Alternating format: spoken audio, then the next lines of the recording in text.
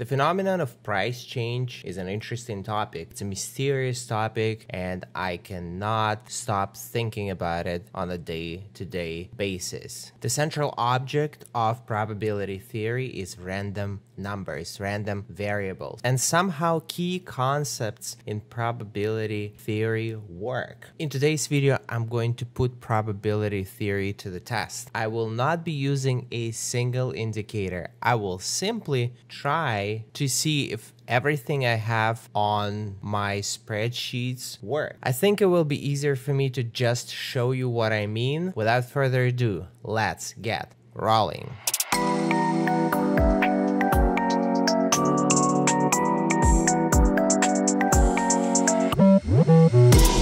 Opened a random pair Turbo USDT, but before I begin trading, I will first explain the concept, something that I'm planning to test in this video. So what if I go long here with expectations to close my position over there, having my stop loss down there? By the way, the distance between this line and this line is the same as the distance between this line and this line. So you're right, my probabilities, I have a 50% probability to close my position at a profit. And if I don't conduct any research, if I don't do TA, if I go long randomly 1000 times, the more the better, because that's how results become more accurate. So if I go long 1000 times, I go long and let's say with expectations to close my position when the price increases by 1%, having my stop loss at negative 1, then I can expect with a certain level level of confidence that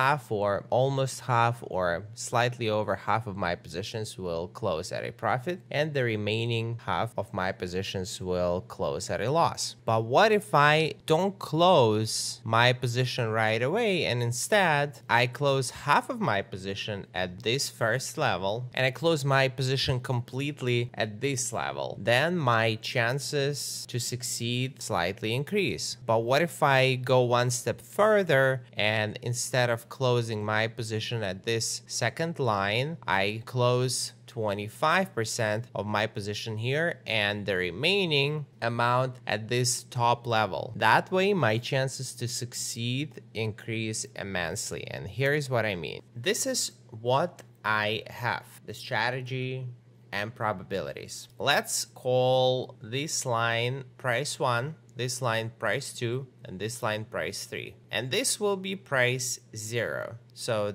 this blue line is our initial entry point we have 50% chance let's say we have a hundred dollars and from here to here it's a 100% increase. All right don't look at this. So if we go along at here and close our position at this first green line it's a 100% price change. And so from here to here it's another 100% hypothetical scenario okay? And let's say we have a hundred dollars to trade. So given all this information we have a 50% chance of losing $100 if the price goes down and we have a 50% chance of reaching this first target. So if we go up from price 1 to price 2 and close 50% of our position and then the price returns back to this blue line, we're going to gain $50 as our profit.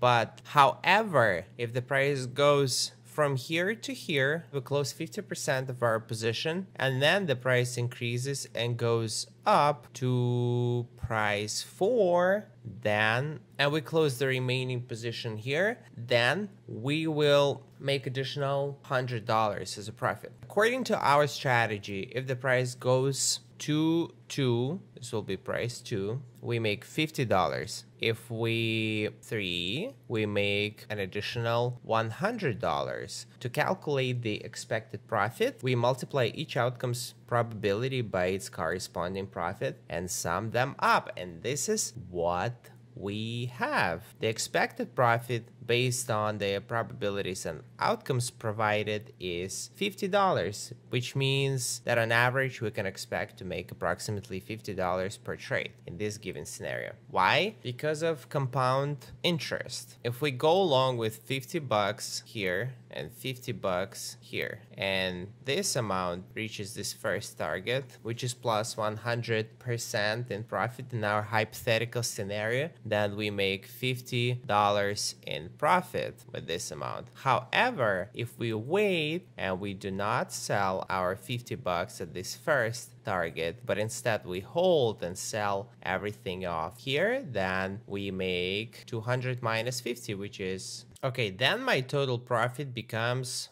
150. It's a big big difference. In other words, regardless of your level of expertise, of your level of experience, if you use this strategy and let's say you go long for, you know, 100 times in a row by utilizing this strategy, you may expect to actually win regardless of your knowledge of trading. And i'm planning to put this strategy to the test. I picked this turbo usdt pair. I don't even know what this token is. I'm not familiar with this asset but i want to give it a shot and see if probability theory works. I'm planning to open several positions. It should give me more accuracy and let's actually see if we're going to make anything at all. In this video, I'll be using Binance Futures, but really for this specific strategy, it doesn't really matter what kind of platform you're using. It doesn't even matter if it's futures or spot. I like Binance Futures because it has automation and semi-automation tools, but essentially it doesn't really matter what you're using. All right, Turbo USDT, let's go. I'm going to trade with a multiplier. I'm using 20x and I think I'll place 20 USDT for each of my positions. I will begin with this Turbo USDT. I mean, I can see that the price is to go down right now. Let's choose something that's more questionable. I'm going to take a look at 24 hour change. I'm going to pick something neutral that didn't really go up or down and something that has volatility. I'm not going to pick BTC or Ethereum simply because these are big coins and I want to pick something like a shady altcoin that's going up and down within a matter of a few minutes. Okay, 1000 bonk USDT. All right, looks like, seems like a great candidate. I'm going to quickly open a long position. All right, so here, you know, I'm using $21 USDT at 20x. Go long, boom. All right, I want to be precise. All right, guys, so this is what we have. We went long around this level. And now we're going to close 50% of our position here and the rest over here. These are of course our expectations. And to test our theory we need to open several positions. So i'm going to place alerts on these lines so regardless, I have set everything up so you can see my PNL is negative 1.3 USDT, which is negative 6%. And I'm planning to pick a couple of other tokens. Let's continue. I'm going to keep this tab open and I will move on to the next coin or token.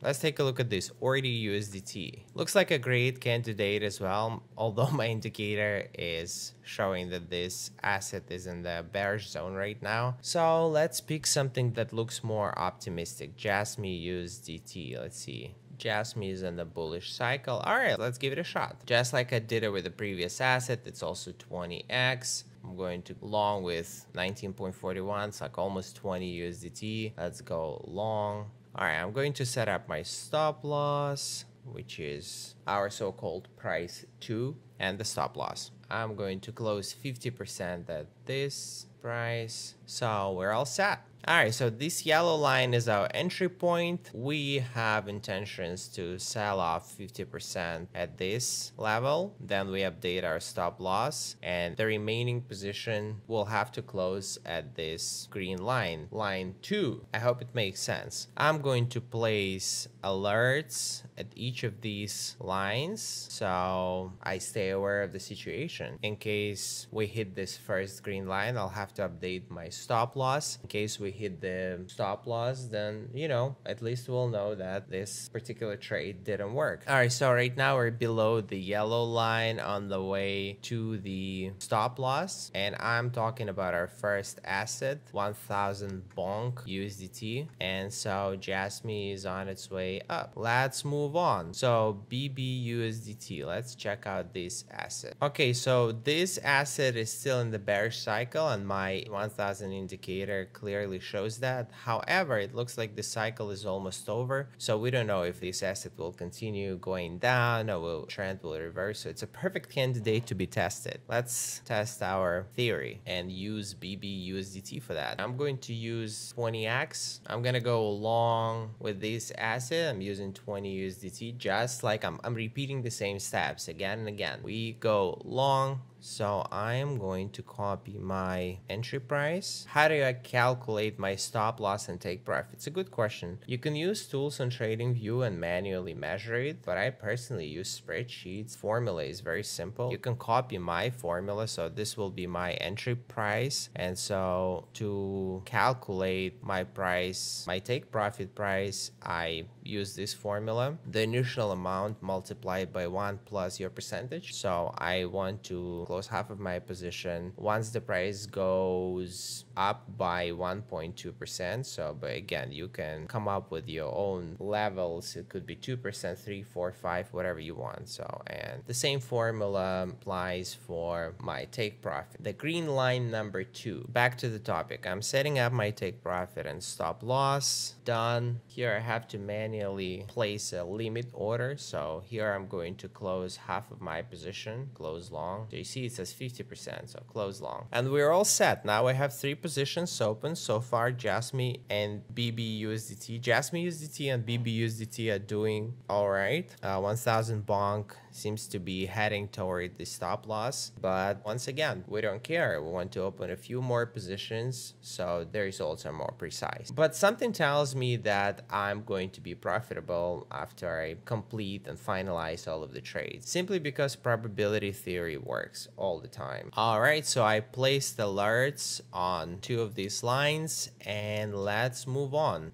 WLD USDT.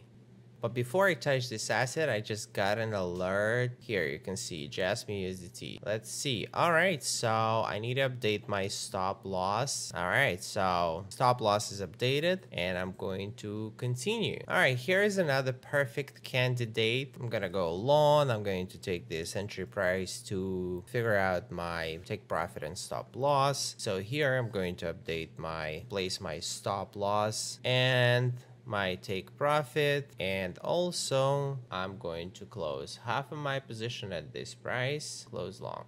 All right everything is set. Let's replicate it all on the chart. So, so far I have three positions open because just closed at a profit. And so we have BBUSDT and WLDUSDT left. I mean, so far so good. I see that we can witness that probability theory is not just a form of science that has to do with random phenomena. We are in the process of completing a few trades and we can see how probability theory works in real life, how it works in trading. And I hope it will give you a little bit of wisdom, especially to those individuals who just started trading or cannot find a profitable way of trading. You know, there are a lot of people who know how to trade but still cannot make money you could try this kind of trading that is purely based on probability theory. Try using just that and complete a few trades and see maybe it will be a great solution to your specific problem. And it doesn't matter which direction you're trading. In this video, I showed you how to go long. If you go long all the time and close half of your position at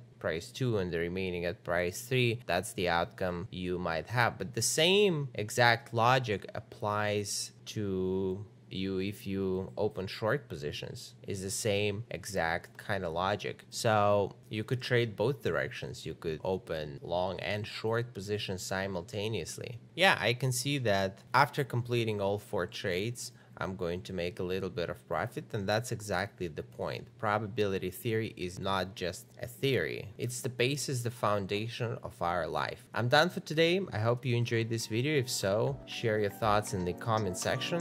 I'm done for now. I'll talk to you soon. Ivan KV out.